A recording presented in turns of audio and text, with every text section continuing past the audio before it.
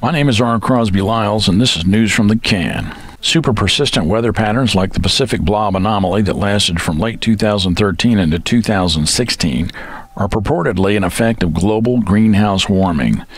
The blob was a large patch of warm seawater in the Pacific Ocean related to a ridiculously resilient ridge of high pressure around the Pacific Northwest in 2014 that resulted in an extreme drought in California. If passed as prologue, this event tells us what to expect in the future. Larger temperature differentials between land and sea can produce super persistent ridges of high and low pressure that may drive conveyor belts of precipitation for extended periods of time. This may be the mechanism responsible for depositing glacial amounts of snow if an ice age should reemerge. It is important to stress at this point that responsible scientists and policymakers never make definitive declarations about what may happen next, which can be aggravating to people who like to have the illusion of security and preparedness. Definitive active voice language is also sexier and more interesting. In this glut of multimedia content we are constantly immersed in, if someone wants to be heard, they should probably try to sound as urgent as possible.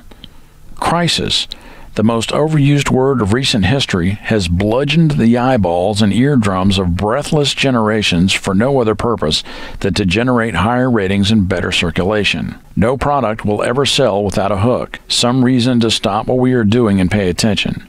As Will Happer says in this Prager University video, no one knows for sure exactly what is going to happen next. Note, however, that in this finely produced piece of virtue signaling, the word exactly allows for a fine print escape clause. Without wading into a fruitless argument over the effects of carbon emissions, here's what we do know. Greenhouse warming, probably from CO2, is an actual thing evidenced by the rise in tropospheric temperatures coupled with the fall in stratospheric temperatures recorded by most reputable sources. Explosive cyclogenesis caused by stratospheric intrusion and folding of the tropopause is a real, actual thing that is probably caused by the aforementioned greenhouse temperature imbalance.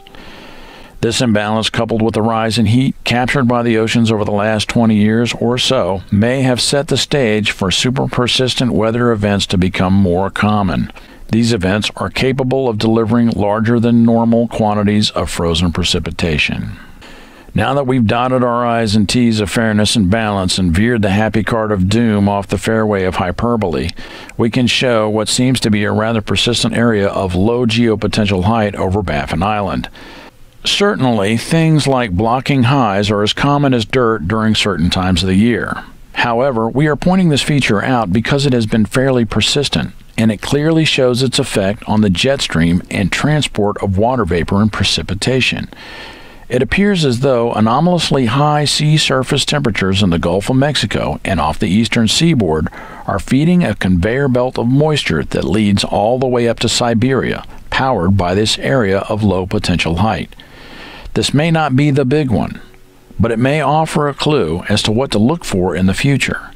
And if this is any indication of what to expect, people living in Siberia may want to stock some extra Zelyonaya Marka just in case. Though we used the term Green Apple Express in a previous video for a slightly different concept, it seems to fit here a little better. For that reason, the title of the previous video will be changed to avoid confusion. And that's about it for now. My name is R. Crosby Lyles, and this has been News from the Can. Thanks for watching.